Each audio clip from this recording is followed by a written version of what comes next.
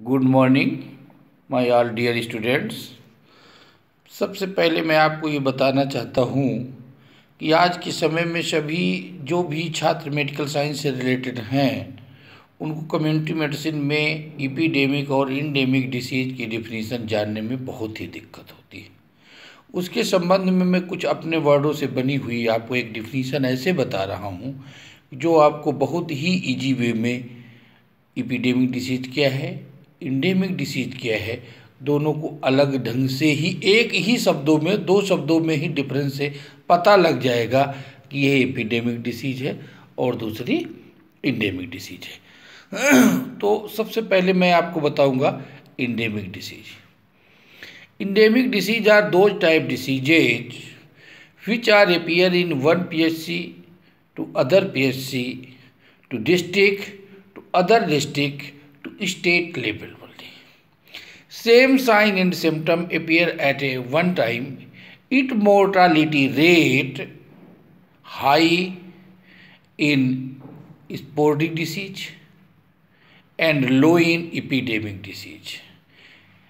And disease are present in the same time at at one time in मतलब state level only फिर disease is called endemic disease just इसी तरीके से epidemic disease epidemic disease are two type diseases which are appear in one P S C to other P S C to district to other district to state to other state and it it reach the country level only. Same sign and symptom appear at one time. It mortality morbidity rate high in endemic disease and low in pandemic disease.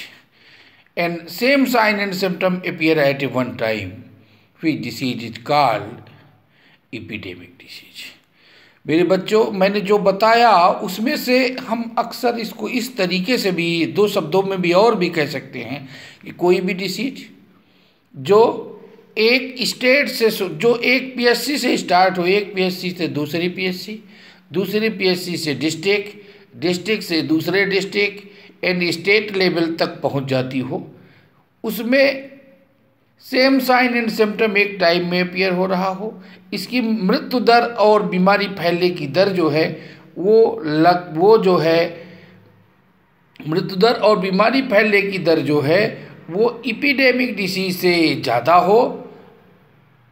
Epidemic disease से कम हो और स्पोर्टिक disease से ज़्यादा हो, ऐसी disease को हम endemic disease कहेंगे और जिसकी मृत्यु दर इंडेमिक डिसीज से ज़्यादा हो और पैंडेमिक से कम हो और साथ में same sign and symptom appear at one time जो इपीडेमिक डिसीज है वो कंट्री लेवल पे हो जाती है और जो इंडेमिक डिसीज है वो स्टेट लेवल पे हो जाती है।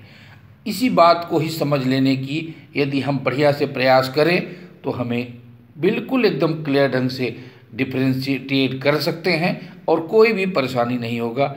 इन्हीं शब्दों के साथ जय होम्योपैथी, जय भारत।